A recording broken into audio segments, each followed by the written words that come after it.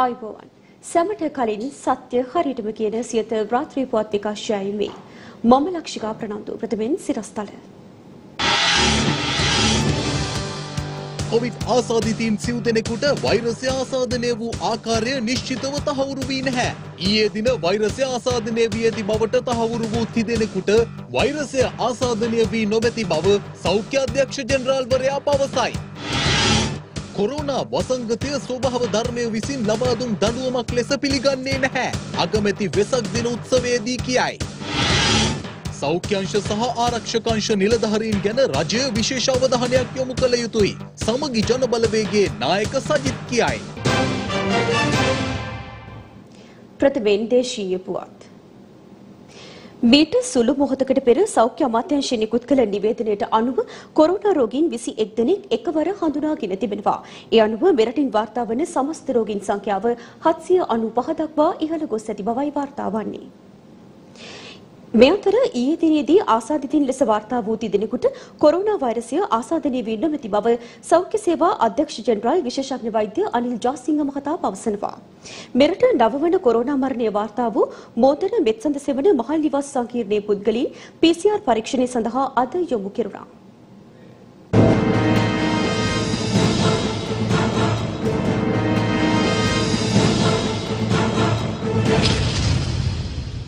COVID-19 වෛරසය ආසාධනය වූ බවට ඒ දින තහවුරු වූ ආසාධිතින් අතුරින් පහළොස් දෙනෙකු නාවික හමුදා සමාජිකින් වනවා. එසේම ආසාධිතින් ලෙස ඊයේ දින තහවුරු වූ තවත් රෝගීන් පස් දෙනෙකු අතුරින් රෝගීන් තිදෙනෙකුට කොරෝනා වෛරසය ආසාධනය වී නොමැති බව අද දින තහවුරු වී ඇති බව සෞඛ්‍ය සේවා අධ්‍යක්ෂ ජනරාල් විශේෂඥ වෛද්‍ය අනිල් ජාසිංහ මහතා පවසනවා. ඊයේ දිනේ කොළොන්නාව රාජගිරිය ප්‍රදේශයේ දෙදෙනෙකුත් ඒ වගේම ශ්‍රී ලංකා ජාතික රෝහලේ විශේෂ හෙද නිලධාරීනියකුත් ආසාදිතයන් වශයෙන් හඳුනාගනු ලැබුවා. මෙහිදී මෙම පරීක්ෂණාගාරය ඔවුන් ඌන ආසාදිතයන් වශයෙන් තමයි හඳුනු ලැබුවේ. ඒ අනුව එසේ හඳුනාගත් පසු ඒ කළ යුතු ක්‍රියාදාමය සම්පූර්ණයෙන් ඉෂ්ට කරනු ලැබුවා. කෙසේ වෙතත් ඒ එම ප්‍රොටෝකෝල් එකට අනුව අප විසින් නැවත පරීක්ෂණ සිදු කරනවා. අවසාන වශයෙන් මේ පරීක්ෂණ සිදු කිරීමෙන් අනතුරුව මෙම තිදෙනා ආසාදන තත්ත්වයක් නොමැති බවට පසුව තහවුරු වෙලා තියෙනවා. මේ අනුව සෞඛ්‍ය අමාත්‍යාංශය විසින් මේ තිදෙනා ආසාදිතයෙන් නොවන බවටත් ඒ අනුව එම ආසාදිත ලේඛනයෙන් ඔවුන් ඉවත් කිරීමටත් තීරණය කරනු ලැබුවා. ඊයේ දින මෙරට සිදු වූ නවවන කොරෝනා මරණය මෝදර ප්‍රදේශයෙන් වාර්තාවීමත් සමග මියගිය කාන්තාව ඇසුරු කළ පුද්ගලයන් නිරෝධායන කටයුතු සඳහා යොමු කිරීමට සෞඛ්‍ය අංශ පියවර කරනු ලැබුවා. එසේම ජීවිතක්ෂයට පත් වූ අදාළ කාන්තාව මෝදර මෙත්සඳ නිවාස සංකීර්ණයේ පදිංචිව සිට ඇති අතර එම නිවාස සංකීර්ණයේ කොටසක් වසා දැමීමටයි සෞඛ්‍යාංශ කටයුතු කළේ. අදාළ නිවාස සංකීර්ණයේ සෙසුමහල් නිවාස වැසියන්ටද නිවාස භූමියෙන් පිටවීම හා බාහිර පුද්ගලයින්ට නිවාස සංකීර්ණයට ඇතුළු වීම සම්පූර්ණයෙන්ම තහනම් වනවා. ඒ අනුව අදාළ කාන්තාව ඇසුරු කළ පුද්ගලයින්ගේ PCR පරීක්ෂණ කටයුතු අද සිදු කෙරුණා. මේ අතර කොරෝනා වෛරසය පැතිර යාම පාලනය කිරීම සඳහා තවදුරටත් ගත යුතු විශේෂිත ක්‍රියාමාර්ග පිළිබඳව තීන්දුව తీරන ගැනීම සඳහා සෞඛ්‍ය හා දේශීය වෛද්‍ය සේවා අමාත්‍යාංශය පිහිටුවන ලද විශේෂ ක්‍රියාකාරී කාර්ය සාධක සමාලෝචන කමිටුව අද දිනේදී සෞඛ්‍ය අමාත්‍ය පවිත්‍රා බණ්‍යාරච්චි මහත්මියගේ ප්‍රධානත්වයෙන් රැස් වුණා. ඉදිරි කාලය තුළ ඇඳිරි නීතිය ලිහිල් කිරීමෙන් පසුද සමාජ දුරස්ථ භාවය තබා ගනිමින් සෞඛ්‍ය අමාත්‍යාංශය විසින් ලබා දෙනු ලැබූ සෞඛ්‍ය ආරක්ෂිත උපදෙස් එලෙසම පිළිපදන ලෙස ජනතාව දැනුවත් කිරීමට කටයුතු කරන ලෙසයි සෞඛ්‍ය අමාත්‍යවරිය විසින් මෙහිදී නිලධාරීන්ට උපදෙස් ලබා දී ඇත්තේ. කොරෝනා වෛරසය රට තුළ පැතිරීම පාලනය සහ වැළැක්වීම සඳහා ජනාධිපතිවරයාගේ සහ අග්‍රාමාත්‍යවරයා ප්‍රමුඛ ශ්‍රී ලංකා රජය ගෙන යන වැඩපිළිවෙල සහ සෞඛ්‍ය අමාත්‍යාංශය මගින් ක්‍රියාත්මක සෞඛ්‍ය සේවා ශක්තිමත් කිරීමේ අරමුණින් ලෝක සෞඛ්‍ය සංවිධානය විසින් ඊයේ දින COVID-19 වෛරස් මර්ධන හා ප්‍රතිකාර කටයුතු ශක්තිමත් කිරීම සඳහා රුපියල් මිලියන 151කට අධික වටිනාකමකින් යුත් අත්‍යවශ්‍ය වෛද්‍ය උපකරණ සෞඛ්‍ය ආරක්ෂිත ඇඳුම් කට්ටල සහ සෞඛ්‍ය ආරක්ෂිත උපකරණ සෞඛ්‍ය අමාත්‍යාංශය වෙත ප්‍රදානය කරනු ලැබුවා. නව නිපැයුම්කරුවන්ගේ සංගමය විසින් සංවිධානය කළ ප්‍රදර්ශනයක් අද කොළඹ හුණු පිටිය ගංගාරාම විහාරස්ථානයේදී පැවැත්වුණා. එම නව නිපැයුම් නිරීක්ෂණය කිරීම සඳහා අග්‍රාමාත්‍ය මහින්ද රාජපක්ෂ මහතා සහ මැති ඇමතිවරුන් ඇතුළු පිරිසක්ද එක්ව සිටියා.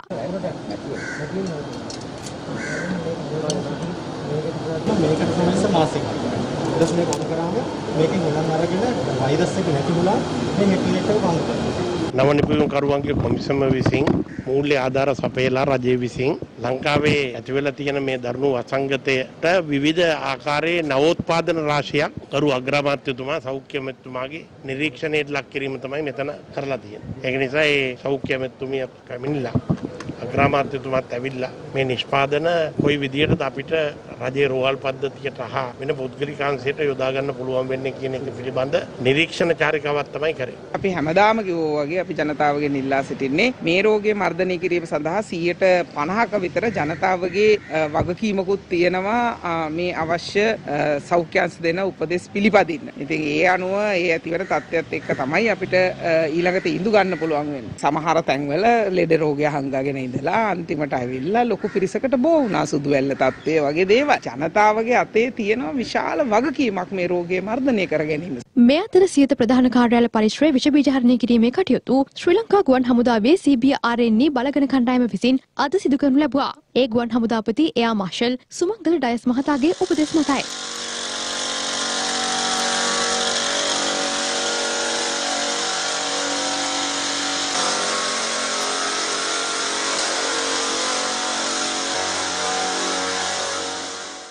එසේම කොළඹ හුණුපිටිය ගංගාරාම විහාරස්ථානය හා ඒ අවට ප්‍රදේශය විෂපීචාරණය කිරීම සිදු කෙරුණේද ශ්‍රී ලංකා ගුවන් හමුදාවේ CPRNE බලගන කණ්ඩායම විසින්.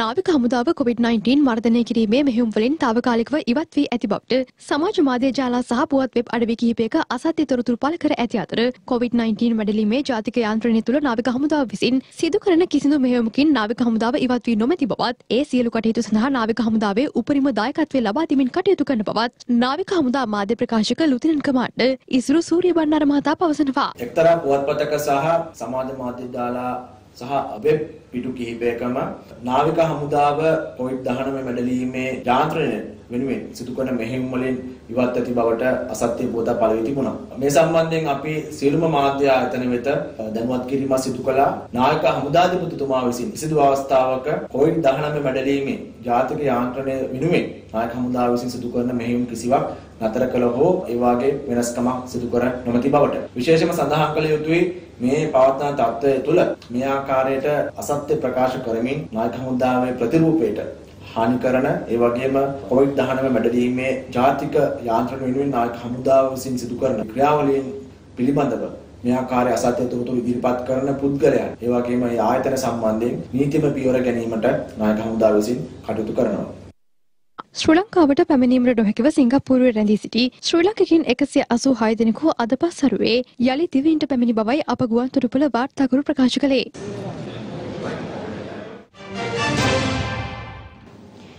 ඇඳිරි නීතිය බලපැවැත්වීම හේතුවෙන් తాවකාලිකව නවතා තිබූ කුඩා දරුවන් වෙනුවෙන් ලබා දෙන ප්‍රතිශක්තිකරණ එන්නත් කඩිනමින් ලබා දීමට පියවර ගන්නා බව අමාත්‍ය පවිත්‍රා වන්නියරච්චි මහත්මිය පවසනවා. එය අද කොළඹ පැවති මාධ්‍ය හමුවකදී. කොවිD-19 රෝගය පැතිර යාම වැළැක්වීම සඳහා ඇඳිරි නීතිය පැනවීම තුළ කොළඹ නගරයේ යම් පිරිසක් ඔවුන්ගේ ගම්බිම් වලට යෑමට නොහැකිව රැඳී සිටීමට සිද්ධ වුණා. 7000ක් පමණ වෙන මෙම පිරිස නොයෙකුත් කාරණා සඳහා කොළඹ රැකියාවට පැමිණිලා తాවකාලිකව ඔවුන් මෙහි රැඳී හිටිය පිරිස. ඒ පිරිස බොහෝ වෙලාවට කඩවල් වල වැඩ කරන්න ආපු අය, ඒ වගේම වැඩබිම් වල වැඩ කරන්න ආපු අය. ඒතර මේ පිරිසට නැවත තමන්ගේ ගම්බිම් යලා යෑමට අවස්ථාව සලසා දීමට රජය තීන්දුව කරා. ඒ අනුව අතිගරු ජනාධිපතිතුමාගේ උපදෙස් පරිදි ඉදිරි දින කිහිපය තුල කාණ්ඩ වශයෙන් මෙම කොළඹ නගරය තුල සිටින යම් යම් తాවකාලික වාසස්ථානවල සිටින මේ කොළඹ සේවය කරන්න පැමිණි ඒ පිරිසට කණ්ඩායම් වශයෙන් ඔවුන්ව තමන්ගේ ගම්බිම් බලා යැවීමට රජය තීරණය කරනු ලැබුවා. වගේම පසුගිය කාල සීමාවේ ඇඳිරි නීතිය බලපැවැත්වීම නිසා අ, කුඩා දරුවන්ගේ ප්‍රතිශක්තිකරණ එන්නත් අ, සති තුනකින් විතර පමාවීමක් සිද්ධ වුණා. නමුත් සෞඛ්‍ය අමාත්‍යංශය ගත්ත තීන්දුවක් පරිදි ඊටාම සෞඛ්‍ය ආරක්ෂිතව සෞඛ්‍යංශ ලබා දෙන උපදෙස් පරිදි අ, යම් ක්‍රමානුකූල වැඩපිළිවෙලක් අනුව දැන් අ, සෞඛ්‍ය වෛද්‍ය නිලධාරී කාර්යාල හරහා මෙම කුඩා දරුවන්ගේ අ, ප්‍රතිශක්තිකරණ එන්නත් ලබා දීමට අවස්ථාව අ, අපි සලසා දී තිබෙනවා. ශ්‍රී ලංකා නාවික හමුදාවේ විරෝධාර රණවිරුවන් තුන්සිය හතලිස් දෙදෙනෙකු මේ දක්වා කොයිත් දහනමෙන් ආසාධනයට ලක්වී ඇති අතර විශේෂෙන්ම අප්‍රේල් මාසෙ තිස්වෙන්දනෙන් පසුව මේ දක්වා පිටතින් කිසිදු විරෝධාර රණවිරුකු සවාගෙන නැහැ. සියලුම විරෝධාර රණවිරුවන් කඳවරුවලට කැඳවලා තිබෙන හින්දා ඒ ආකාරයෙන් ආසාදයෙන් ලක්වෙන අයවලුන් ආසාදයෙන් ලක්වනු ලබන්නේ කඳුරක් තුළදී පමණ බවත් අපි සඳහන් කළ යුතු තිබෙනවා. සමගී ජනබලවේගයේ හිටපු පාර්ලිමේන්තු මන්ත්‍රීවරුන් පිරිසක් සහ සෞඛ්‍ය සේවා අධ්‍යක්ෂ ජෙනරාල් විශේෂඥ වෛද්‍ය අනිල් ජාසිංහ මහතා අතර හමුවක් අද පැවැත්වුණා. ඒ COVID-19 වසංගත රෝගය පිළිබඳව තොරතුරු දැනගැනීමේ පනත යටතේ තොරතුරු ලබා ගැනීම සඳහායි.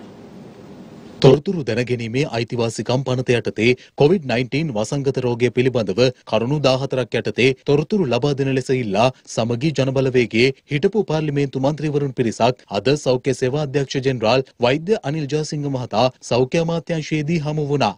එහිදී ඒ මහතා සමග සාකච්ඡාවක නිරත වූ සමගි ජනබලවේගේ මන්ත්‍රීවරුන් කරුණු 14ක් ඇතුළත් ලිපියක්ද සෞඛ්‍ය සේවා අධ්‍යක්ෂ ජෙනරාල්වරයා වෙත බහර දෙනු ලැබුවා. සාකච්ඡාවෙන් අනතුරුව මන්ත්‍රීවරුන් මාධ්‍යට මෙලෙස අදහස් පළ කළා. තොරතුරු දැන ගැනීමේ පනත යටතේ අපිට අවශ්‍ය වෙලා තියෙනවා මෙම COVID-19 වසංගතය සඳහා යම් යම් ප්‍රශ්න කීපයක් දැනගන්න.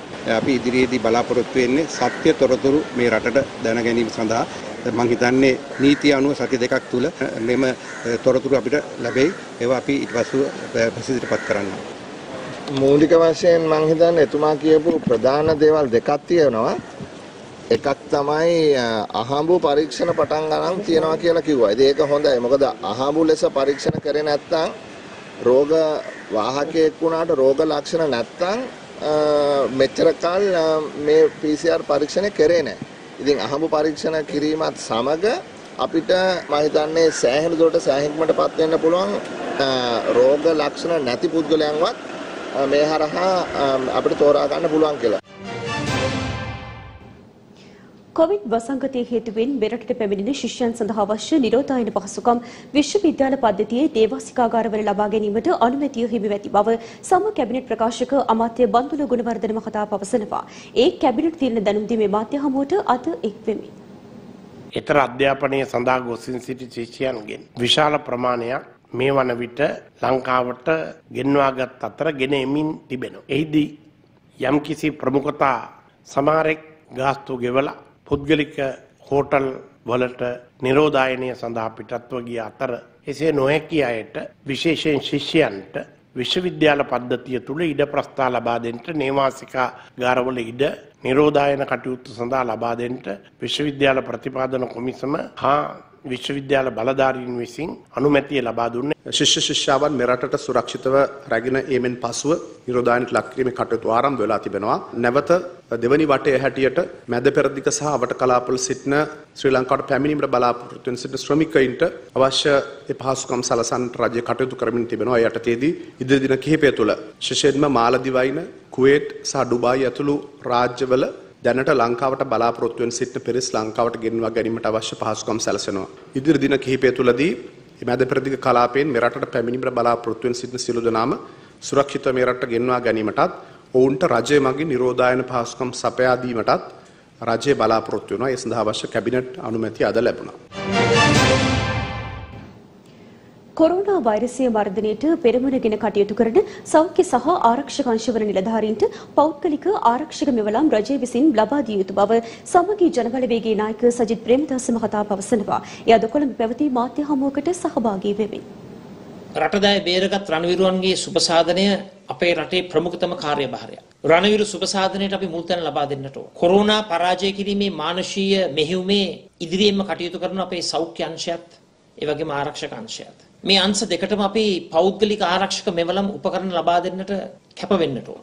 ඒක රජයේ වගකීම. ඒක අපේ යුතුයකමක්. ඒවා පිළිවෙලකට ලබා නොදීම තුල තමයි අද ආරක්ෂක අංශයේ සිය ගණනක් කොරෝනා උවදුරින් විපතටපත් වෙලා සිටින්නේ. කොරෝනාව වැළඳිලා තිබෙනවා. විශේෂයෙන්ම සෞඛ්‍ය අංශයටත් රණවිරු අංශයටත් ආරක්ෂක අංශයටත් කොරෝනා මෙහෙයුමේ ඉදිරිපෙළ කණ්ඩායම් වල සිටින ඒ කැපවීම කර ඒ සෑම දෙනාට පර්සනල් ප්‍රොටෙක්ටිව් පෞද්ගලික ආරක්ෂක මෙවලම් ලබා දෙන්නට වහාම රජය කටයුතු කරන්නයි කියලා ඉල්ලීමක් කරනවා. ඒ වගේම අද වන විට ආබාධිත රණවිරුවන්ගේ ජන ජීවිතය ඉතාමත් දුක්ඛිත තත්ත්වයකට වැටිලා. රටදැයි වෙනුවෙන් කැපකිරීම කරලා as is must lay ඉන්ද්‍රියන් අවයව පරිත්‍යාග කරලා ඉමහත් කැපකිරීමක් කරපු රණවිරුවන්ට ඒ පොරොන්දු දීමනා ටික ලබා දෙන්නට ඕන. ඒ රණවිරු ස්වාමි පුරුෂයන් අහිමි වුණු ඒ බිරින්දෑවරුන් සිටින පවුල් වලට ඒ ලබා දිය යුතු ආධාර උපකාර වේතන වැටුප් ලබා දෙන්නට ඕන. මේ රණවිරුවන්ට යුතුයකම ඉෂ්ට කරනවා කියලා පොරොන්දු වුණා. ඒ පොරොන්දු ක්‍රියාවට නංවන්නට ඕන. කොරෝනා වසංගතය ස්වභාව ධර්මයේ දඬුවමක් ලෙස පිළිගැනීමට සූදානම් නොමැති බව අග්‍රාමාත්‍ය මහින්ද රාජපක්ෂ මහතා පවසනවා. එය අද පෙරවරුවේ අරලියගහ මන්දිරයේ පැවති රාජ්‍ය වෙසක් දින උත්සවයට සහභාගී වෙමින් රාජ්‍ය වෙසක් දින උළෙල අද පෙරවරුවේ අර්ලියගහ මන්දිරයේදී පැවැත්වුණා. ඒ මහා සංඝරත්නය සහ අග්‍රාමාත්‍ය මහින්ද රාජපක්ෂ මහතාගේ ප්‍රධානත්වයෙන්. මෙවර වෙසක් දින රාජ්‍ය උළෙල නිමිත්තෙන් සමරු මුද්දර හතරක් සහ මුල් දින කවර දෙකක් නිකුත් කිරීමට ශ්‍රී ලංකා තැපැල් දෙපාර්තමේන්තුව කටයුතු කළා. වර්තමාන අවස්ථාවේදීත් රාජ්‍ය වෙසක් උත්සවයක් සංවිධානය කොට අද රටේ පවතින මේ අර්බුදකාරී වාතාවරණයත් ඒ වාතාවරණයට ගැලපෙන ආකාරයට මේ රාජ්‍ය වෙසක් උත්සවය සංවිධානය කිරීම පිළිබඳව සන්තෝෂයත් ආශීර්වාදයක් සඳහන් කරන්නට කැමැතිනි. බුදුරජාණන් වහන්සේ ධර්මය තේරුම් ගත්ත අය ඒ ධර්මය මාර්ගය පිළිගත් අය මේ විපත්වලින් කම්පාවෙන්නේ නැති බව මදන්. බෞද්ධ ජනතාව අෂ්ටලෝක ධර්මය හමුවේ කම්පාවට පත්වෙන්නේ නෑ. එනිසා අපි කොවිඩ් දානමය වසංගතය ධර්මය තේරුම් ගන්න ලෝක ස්වභාවය තේරුම් ගන්න පිටුවහලක් කර ගන්න ඕන කියලයි මා විශ්වාස කරන්න. සමහරු හිතනවා මේ වසංගතය ස්වභාව ධර්මය විසින් ලෝක සත්වයාට දුන්නු දඩුවමක් කියලා.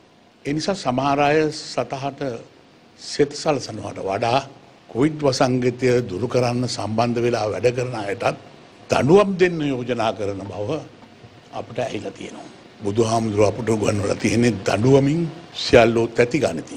දඩුවම සියල්ලෝ බියවති. එනිසා අපි දඩුවම දෙන්න යන්නෙත් නෑ දඩුවම දෙන පෞකාර සිතුවලි වලින් අපි බැහැරවෙන් වෙනවා විතරක් නෙවෙයි ස්වභාව ධර්මය දීපු දඩුවමක් හැටියට භාරගන්නෙත් නැති බව අපි කියන්න ඕන. ලෝක ස්වභාවයට ලෝක බලවතුන් කියලා දුබිලීන් කියලා වෙනසක් නෑ. ලෝකෙන් මොනතරම් බලවතුන් වුණත් ලෝක ස්වභාවය වෙනස් කරන්න බෑ. ලෝකයේ බලවත්ම රටවල රාජ්‍ය නායකින්ටත් වසංගතයෙන් ගැලවෙන්න බැරි වෙලා තියෙනවා. රට තුළ උද්ගත වී ඇති තත්ත්වය හමුවේ වෙසක් සැරසිලි නිර්මාණකරුවන් සිය නිෂ්පාදන අලෙවි කරගත නොහැකිව පීඩාවට පත්ව සිටිනවා. මේ ඒ පිළිබඳ තොරතුරුයි. බුදුරජාණන් වහන්සේගේ දෙමකුල සිහි කරන වෙසක් පුර පසළොස්වක පොහෝ දිනය හෙටට යෙදී තිබෙනවා. මේ වන විට රට තුළ උද්ගත වී ඇති තත්ත්වයත් සමග වෙසක් උත්සවය නිවසේ සිට සමරන ලෙස රජය ජනතාවට දැනුම් දුන්නා. ඒ අනුව නිවෙස්වල සිට ආගමික වතාවත් සිදු කරමින් වෙසක් දෙමගුල සිහි කිරීමට ජනතාව සූදානමින් සිටිනවා. මේ අතර තවත් පිරිසක් පිළිබඳව අප සිහිපත් කළ යුතුයි. ඒ වෙසක් දින සැමරුම් වෙනුවෙන් විවිධ සැරසිලි මෙන්ම වෙසක් කාඩ්පත් සහ වෙසක් කූඩු නිර්මාණය කරන කර්මාන්තකරුවන් පිළිබඳවයි.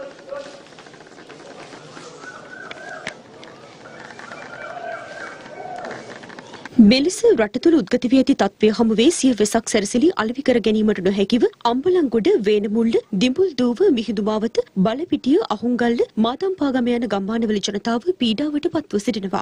වෙනදාට පවතින ඉල්ලුම මෙවර වෙසක් දින සැරසිලි නිෂ්පාදන සඳහා ලැබී නොමැති බවයි එම වෙළඳුන් පවසන්නේ. එමෙන්ම දඹුල්ල බකමූණ ලග්ගල ප්‍රදේශවල වෙසක් සැරසිලි නිෂ්පාදනයේ යෙදෙන පිරිස්ද රට තුළ පවතින කොරෝනා තත්ත්වය හේතුවෙන් තමන් විසින් නිර්මාණය කරන ලද වෙසක් කූඩු අලෙවි කරගත නොහැකිව අසරණ වී සිටිනවා.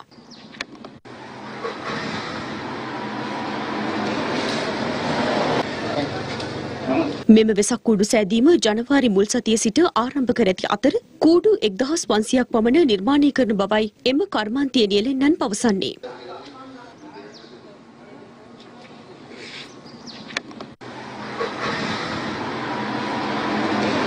ඉතින් කුඩු 1000ක් 1500ක් විතර මම නිර්මාණය කරලා තියෙනවා. සියලු දෙනාම අසරණ වෙලා ඉන්නවා. මාධ්‍යයක් හෝ අපේ අතිගරු ජනාධිපතිතුමා හෝ මේ ගැන අපිට දැන් මේවා පිටරට යන සල්ලි. ඒ නිසා අපේම දෙයක් අපිට නිර්මාණය කරන්න පුළුවන්. ඉතින් පිටරට සල්ලි අපේ ලංකාව ඇතුලේ සල්ලි ඉතුරු කරගන්න පුළුවන් නිසා හරි ඉන්නවා නම් හෝ අපිට උපකාරයක් කරලා මේක වැඩි දියුණු කරගන්න කියලා මම කාරුණික ඉල්ලා සිටින අවසරයි. අපි හැම සැරේම කූඩු හදනවා දැන් අවුරුදු 4ක් විතර.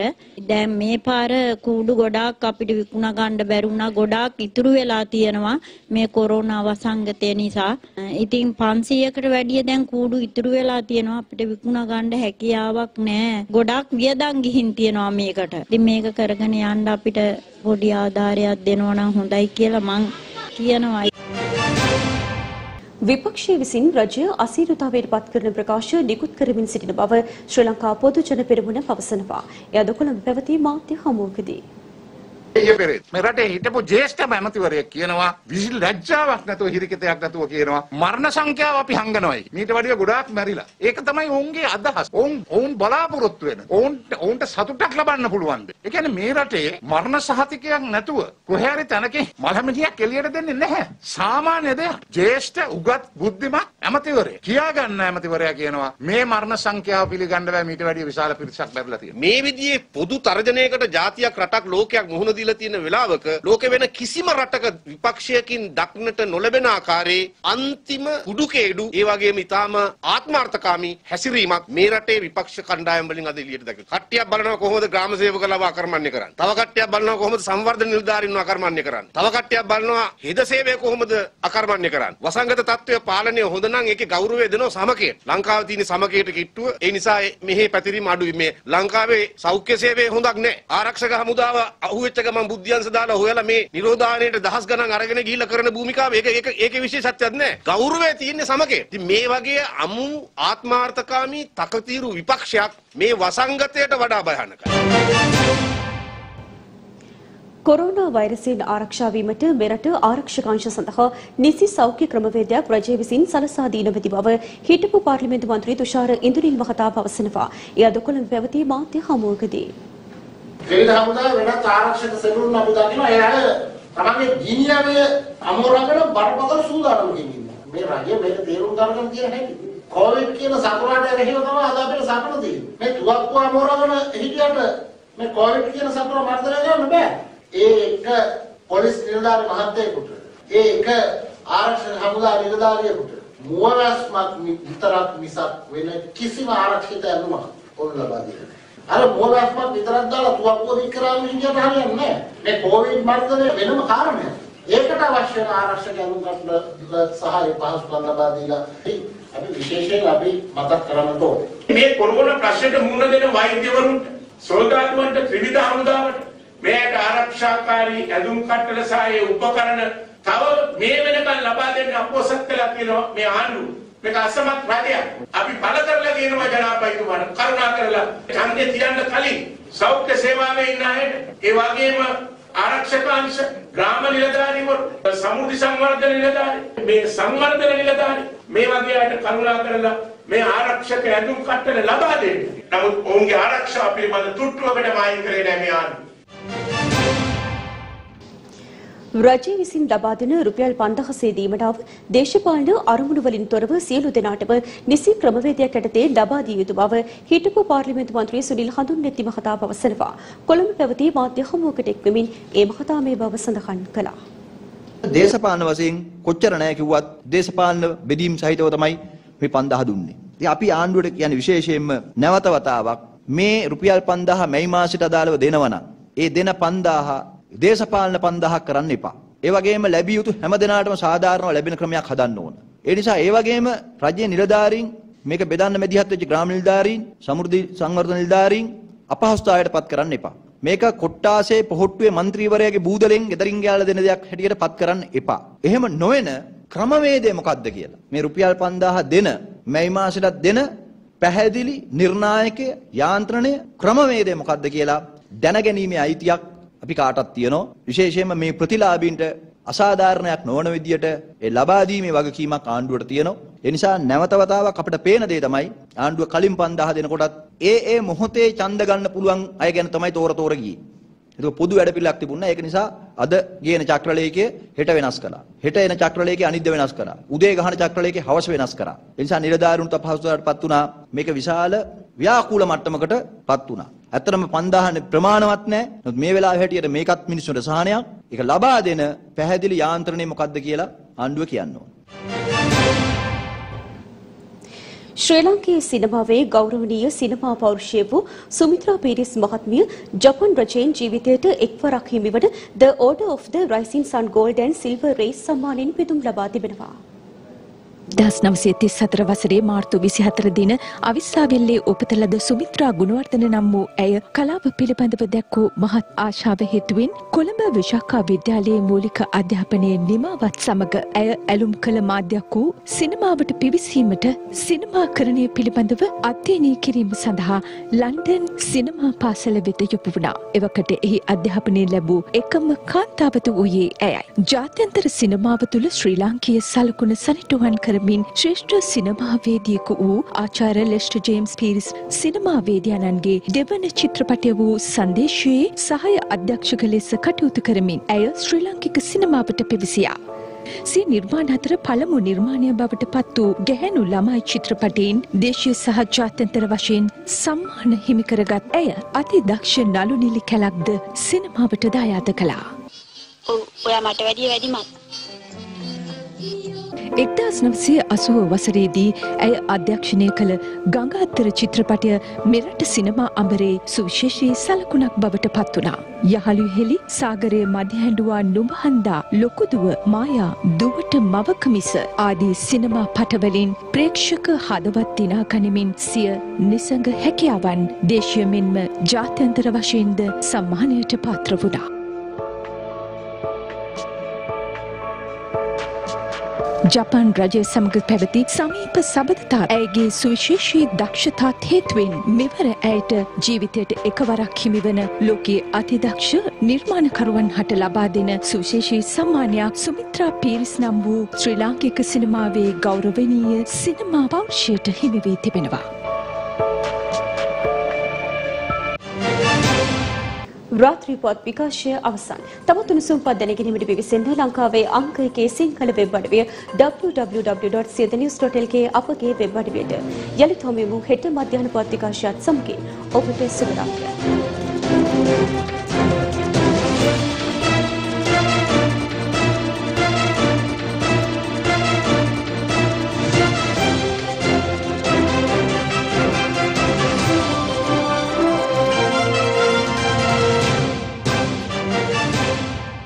දිනපතා අලුත් වීඩියෝ සහ ප්‍රවෘත්ති නැරඹීමට ඉහත බටන එක ක්ලික් කර සියත TV සබස්ක්‍රයිබ් කරන්න.